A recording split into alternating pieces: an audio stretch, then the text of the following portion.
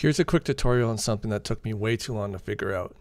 I'm going to show you how to create this mesh with two separate textures on it. There's a link to this orange icon in the description below. So I have a scene here with the mesh instance as the root node with the script attached. In the script I have the vertices and UVs for the bottom left triangle of the square. In the scene view, click on the mesh in the mesh instance inspector and you can see this section called surface. Here's where you can add a texture or material.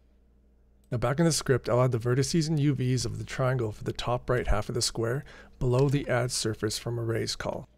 I'm overwriting the existing data so the array only has the data for the second triangle. Then I'll call add surface from arrays again with the new data. Every time this is called, it adds to the existing mesh but does so with a new surface. Back in the scene, there are now two surfaces in the mesh. Drag and drop a texture onto each one. If you want to set these textures from the script, Load or preload each texture. Instantiate a new spatial material for each texture. Assign the textures to the albedo texture property of the corresponding material. Then call surface set material on the mesh with either 0 or 1 for the first parameter and the material for the second. 0 will set surface 1 and 1 will set surface 2. And there you go.